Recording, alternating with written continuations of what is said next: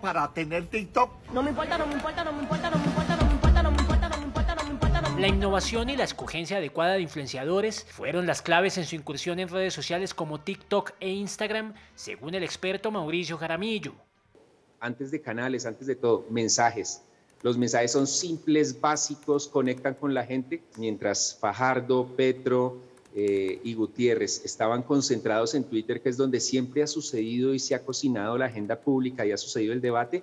Eh, él estaba en TikTok y en Instagram. Jaramillo dice que el ingeniero ha aprovechado las redes sociales para ser creativo y hacer cosas que otros candidatos no se han atrevido a hacer. La escena de él en la cocina eh, con su discurso de la victoria solo, con los platos y las ollas atrás, eh, rompe con la imagen de Petro celebrando la victoria de alguna manera en el hotel, acompañado por todos los demás y con el público celebrando. Asegura que la falta de profundidad de los contenidos en TikTok también han sido un punto a favor del aspirante santanderiano. Los mensajes de él son súper simples, son sencillos, son básicos, además porque su programa, eh, él no se lo sabe, él no se lo sabe por completo porque él mismo dice en Twitter, me han dicho mis asesores que no debo apoyar el, el fracking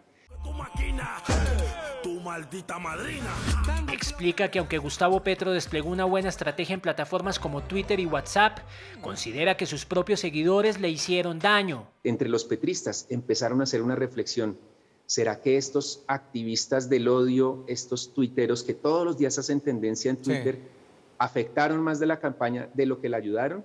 Yo me animaría a decir que sí. El experto resalta que Petro debe replantear su estrategia digital, mientras que para Rodolfo Hernández volver a la plaza pública representaría un riesgo, por lo que debería mantener su discurso en las redes sociales.